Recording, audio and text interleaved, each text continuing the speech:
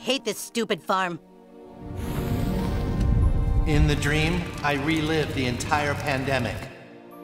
Oh God, no! My little girl! Oh no! Oh God!